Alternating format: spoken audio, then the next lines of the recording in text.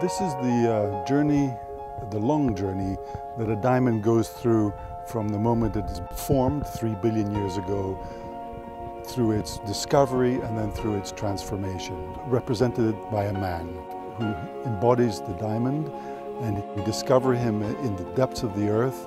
He emerges and he begins his journey of transformation until he reaches the city where he's in his full splendor and then the woman he is to love forever.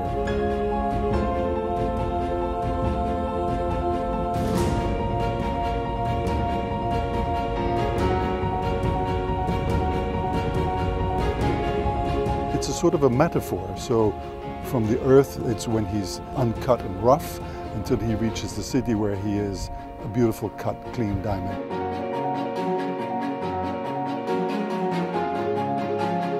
What we're trying to do is we're trying to tell the story of the Forevermark selection process. Not every diamond reaches the Forevermark standards of beauty, and so he emerges with 100 other men. What we're trying to say here is that only one in a hundred are the most beautiful diamonds in the world.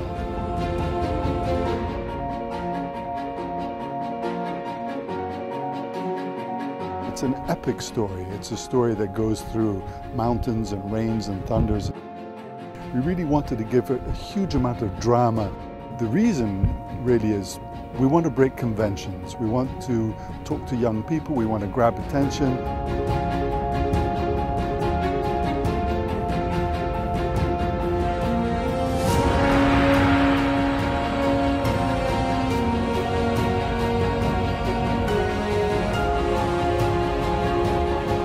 Has to be different, it has to be engaging, and it almost has to have a surprise at the end. You really don't know what's happening until you reach that magic moment. And this is actually even more important for us because it's the moment in which we're reintroducing a diamond is forever. A slogan that has been the slogan of the century now has an opportunity to become even more powerful and more beautiful as we tell the Forevermark story.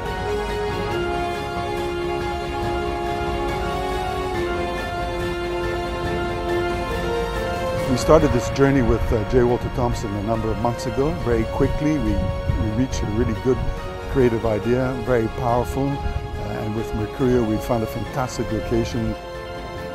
And then the director, Robert Chu, who in amazing capability of bringing magic to each one of the scenes. It really is an epic and beautiful story.